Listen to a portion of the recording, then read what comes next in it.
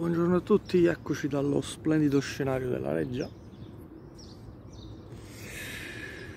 L'ora dei traversi sceglie sempre location insomma, di un certo livello, la Reggia è il momento secondo me più bello al mondo.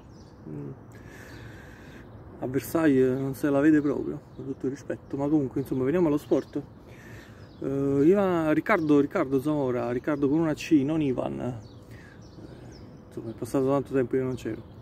Riccardo Zamora sulla mia pagina sportiva, portiere leggendario degli anni 20-30 della Spagna, grande rivale dell'Italia che ha vinto due mondiali con eh, la sua guida Vittorio Pozzo sotto la, insomma, il governo del Duce che comunque teneva molto all'educazione fisica dei ragazzi. E niente, Zamora sulla mia pagina sportiva, ci sono mm, non tantissime foto, ovviamente quasi tutte in bianco e nero.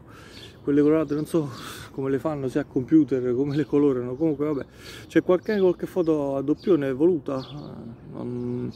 di solito io doppioni un po' come le figurine che mi fanno anche un po' girare le scatole, le, le cestine, insomma, questa volta no, perché ho trovato pochi rilievi fotografici di un'epoca, insomma, che ovviamente non aveva la tecnologia moderna di oggi, le macchine fotografiche erano quelle obsolete, insomma, che ci mettevano un, tipo un quarto d'ora per scattare una foto. Comunque, vabbè, detto questo, due gallerie fotografiche di Zamora con Combi, suo grande rivale e di rimpettaio, nonché collega nella nazionale italiana, nonché bandiera, mh, mm, giocava nella Juventus nel diciamo, periodo anteguerra, insomma la guerra, la seconda guerra mondiale ha mischiato un po' tutte le carte. Zamora, sulla mia pagina sportiva. Calcio d'altri tempi, emozioni senza tempo. Gianclaudio27 vi saluta come sempre. Ciao, invitandovi a seguirlo, se volete, sulla propria pagina.